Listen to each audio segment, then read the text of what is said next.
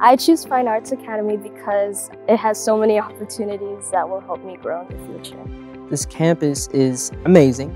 This theater is very, very amazing. It's it's had very more generations and generations of students who have came before and have been very successful. In choir, we have an amazing director, Ms. Padilla, and the theater director, Ms. Caso. They are really here to help you. They will listen to you. They will teach you new things that you have never seen or heard before. And you will have an amazing experience. I chose the Fine Arts Academy because this school has a good program of the arts and, uh, and everything overall this school is a beautiful school and I love it so much.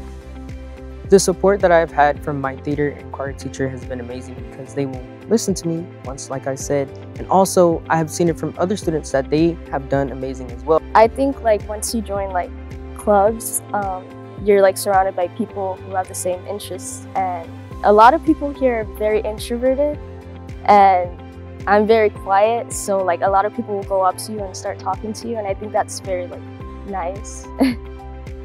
well, in every class it's rather small so you don't have a whole bunch of students surrounding you like each teacher's like not being able to attend to you but for here you get that one-on-one with the teacher and they get they're able to communicate with you the way it's needed for a student and a teacher like relationship.